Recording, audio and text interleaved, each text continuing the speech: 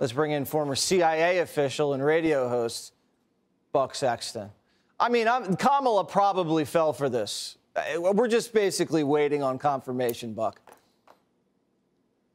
Jesse, Kamala was a big believer in the Jussie Smollett hoax, uh, which, which I know Fox Nation has done an excellent job yes. uh, expanding our knowledge of in just the last few days.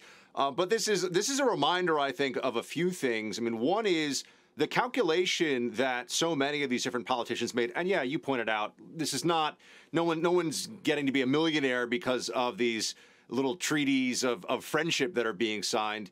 But the the tie always goes, if you will, to the the hoaxer in this case. I mean, a- any chance mm-hmm. that a politician has to show that they're in good faith, you know, showing how multicultural and diverse they are. They're going to take that because even if they asked any questions, I think some of them would be worried. Oh my gosh, you you don't know about uh, Kailasa? I keep, I keep, trying to remember the name. You don't know about the wonderful nation of Kailasa? You must be some kind of a bigot, sir. Yeah, it's right next so to this Wakanda. just shows you the calculations. right. So you, when you I mean, when you were an intel guy, and because uh, this is probably more of a new threat you're probably seeing in the intelligence community people pretending to be woke or people pretending to be victims or kind of ethnic espionage that appeal to uh, liberal uh, Americans or business leaders who don't want to be said to be bigoted. Do you think they're exploiting this? I mean, of course. I think that there's a massive industry in this country that we all see. I mean, how much do some of these diversity and inclusion lecturers get paid for each time they show up at a, at a corporate office or at some college or university.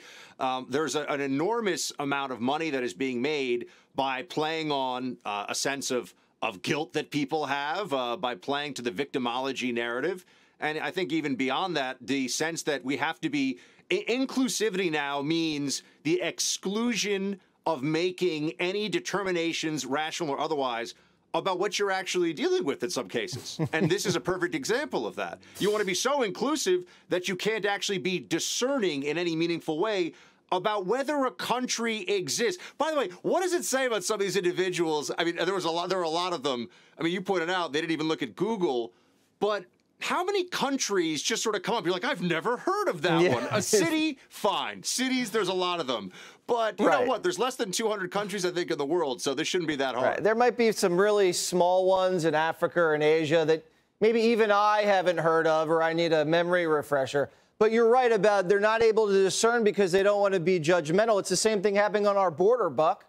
They don't want to say no. They just want to let everybody in because how dare they be discriminatory. All right, thank you very much, Buck Sexton. Not a cult leader that we know of. Nope, not yet.